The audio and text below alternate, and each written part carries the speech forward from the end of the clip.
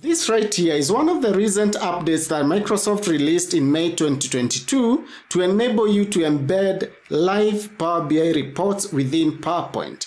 That means that you can tell your data story more effectively using fully interactive reports and get an experience as though you are within Power BI service. That means that you can drive data rich conversations in your meetings with data that is always live and up to date within your slides. It also means that you can answer ad hoc queries and questions in a more prompt and real time manner, not having to leave PowerPoint so that you can go and look for that data. It is all within your PowerPoint. My name is William and in this video, my goal is to show you how you can embed a live Power BI report in PowerPoint so that you can tell your data story more effectively. So I'm here in Power BI and as you can see I have a report that has two tabs. I have summary and I have the regional performance here and this is the report that you'd want to view in PowerPoint. Now, previously you could export this one as a PDF or in PowerPoint as a static image. So with this recent update, all we need here is to copy the URL of this uh, report. I control C. So here in PowerPoint, we go to the Insert tab and look for the Power BI icon here.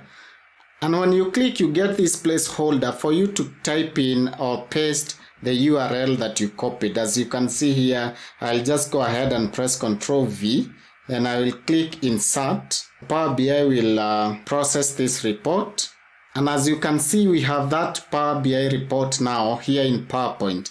And if I go to this and I make a selection for the month, I can click March and then you can see all the numbers update on this report page. Now check this out. If I go to the slideshow mode, the interaction is still there. Now this is going to change how you tell your data story in your meetings. This is, um, I'm really excited about this. One thing to note though about this feature is that currently as of going live of this video is that you cannot have multiple pages shown by this embedding that we have done on this page or in this slide. Uh, but what you have capacity to do is that you can build your report so that it has the page navigators so that you can interact with the pages from one page to another when you're still within PowerPoint. In this case, I have two buttons here that I can use to switch from summary to region. Now, if I click region, it will bring up the page that has the regional breakdown as you can see here and you can interact with any one of these visuals that you see here as though you're in Power BI service. For instance, this chart down here shows the year-on-year -year growth rates for different regions. Now, if you want to navigate through the regions, I can click, say, for instance, why is Coast region showing a decline? Then I can investigate that uh, through the channels and as you can see it shows me the breakdown per channel and then per product category as such. Now before I move on, let me know what your thoughts are in the comments below. If you're finding value in this video, please give it a thumbs up. I do appreciate and it will go a long way in reaching more people with the same information. Now if I press escape here so that I come out of the slideshow mode, you'll notice here I have some icons on this uh, slide. So on the left side here you see the date when this report was last refreshed and if you click on this one it will take you to the report in the Power BI service. Then on the right side here you have two more icons and as you can see this first one is when you want to show or hide the filters pane then if I click it will show the filters pane or hide it. That one hid it. Let me click and then you'll see the filters pane in case you had any filters applied to this report. In this one I don't have.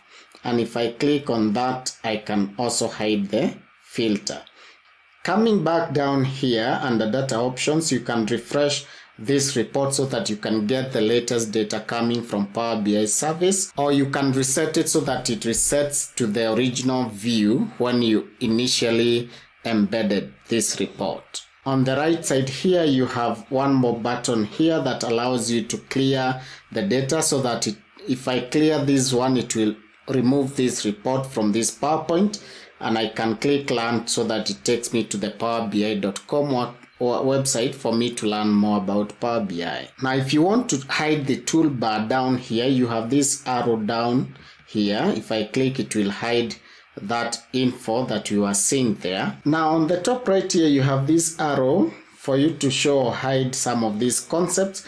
And basically you can delete the report from here. You can also reload it from here. And also you can show as a saved image so that this report will be converted to a static image as though you took a screenshot from your report in Power BI service. Now this feature is available with uh, Microsoft 365 subscribers and if you don't find this Power BI icon in the insert menu, you can come here to add-ins and then click get add-ins so it will load this uh, store page and you can search here for Power BI. If you search, you'll find two icons. The first one, the Power BI tiles, is the old version of this Power BI, but the one that is official and the one that is coming from Microsoft is this second one. And as you can see, it's Microsoft Corporation. Uh, I've already installed, but in case you haven't, you will click add so that it becomes part of what you have in the add-ins in the insert menu. Now there are several ways that you can get the URL that you use within the Power BI add-in within PowerPoint, the one that you need to copy and paste. In this example, we went to the URL here and we copied that uh, URL from the web address here.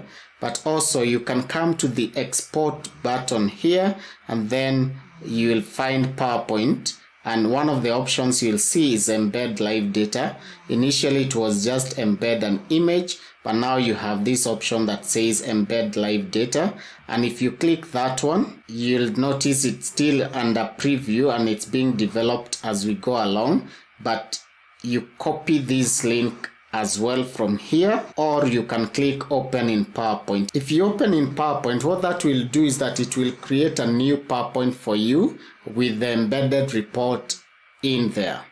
So the third way you can get that URL is to click this share button. Again, if I click share, you'll get this uh, view and then what you need is to click PowerPoint down here.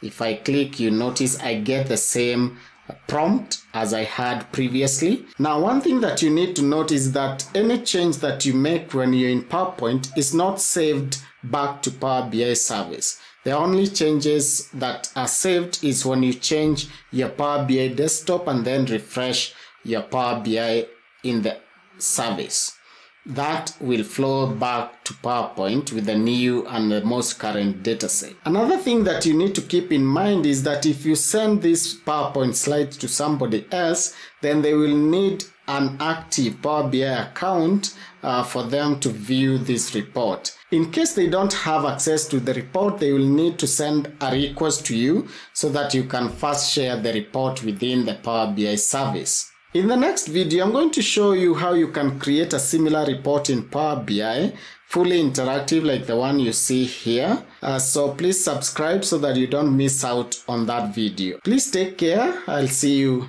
then.